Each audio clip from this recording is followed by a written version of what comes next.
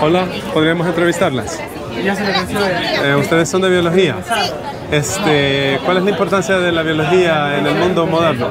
La importancia de la biología eh, actualmente, pues con los cambios climáticos, los cambios de la actualidad de la humanidad, pues también hay cambios a nivel microscópico, biológico, y pues es importante adquirir conocimiento de cómo va cambiando en la actualidad y tener entendido cómo también nos va a afectar a, a final de cuentas a tanto la humanidad como a los demás seres vivos. También ustedes pueden aportar con esto de la contaminación ambiental, la destrucción de los hábitats, porque ustedes estudian este, los hábitats, la zoología, los animales, ¿verdad? Claro que sí, la parte ecológica, Ecológica. la parte ecológica que es lo que engloba todo lo que podemos eh, observar eh, a nivel microscópico, a nivel animales, de plantas y cómo todo está en conjunto y cómo afecta.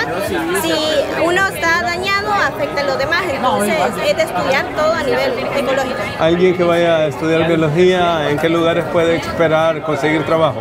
Pues principalmente en el área educativa, en el área de ambiente, en el área de laboratorio, es bastante amplio. Eh, En la investigación también, En la ¿verdad? investigación, ¿Qué le diría usted a los jóvenes para motivarlos a estudiar biología? Les diría de que esta es una carrera demasiado amplia, de cual ustedes se pueden enfatizar o en- educar de cualquier área que ustedes les guste. Eh, ya sea, no solo somos plantas y animales, sino que también somos de, de investigación, de conocimiento y, y ayudando siempre a, a las personas también. Mi parte favorita es la taxonomía, ¿verdad? Eso es bastante interesante. bastante Y, y la evolución del ser humano. Exacto. Bueno.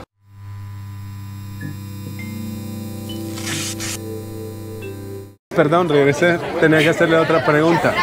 Eh, ¿Qué piensa de la evolución humana?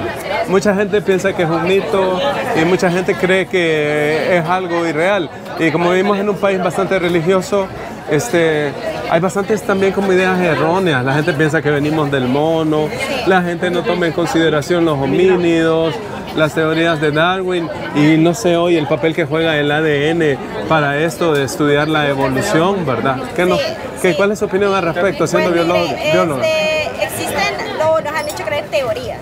Ajá. Y dentro de las teorías está aceptable eh, la parte religiosa, que Sí. es la teoría creacionista.